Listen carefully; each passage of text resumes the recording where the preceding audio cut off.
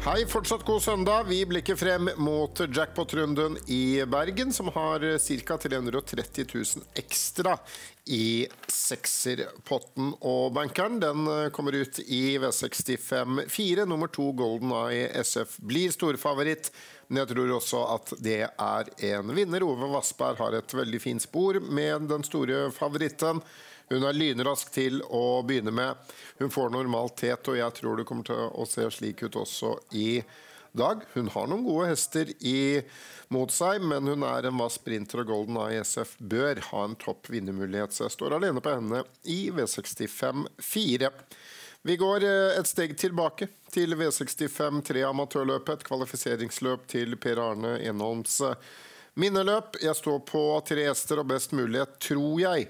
Unggutten Tobias Lea Jøsland har bak nummer 13 Grudeling, som jeg synes var strålende comeback i sist.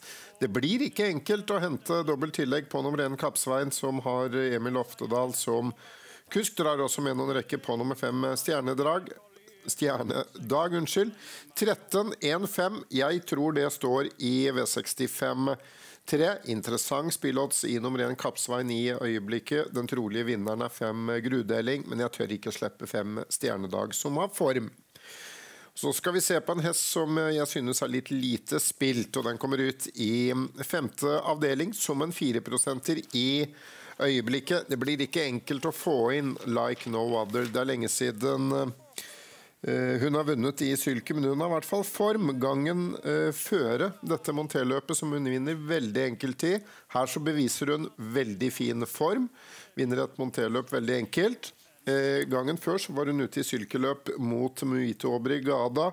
Uh, samme løpet så var vel um, var vel litt mer rutinerte, gode hester med i, og jeg synes inntrykket på Like No Other var bra, selv om hun butta litt siste 100. Som helt uspilt i eh, dette løpet, så må jeg dra henne med og gi henne noen rekker. Jeg synes hun har, er oddsmessig veldig interessant.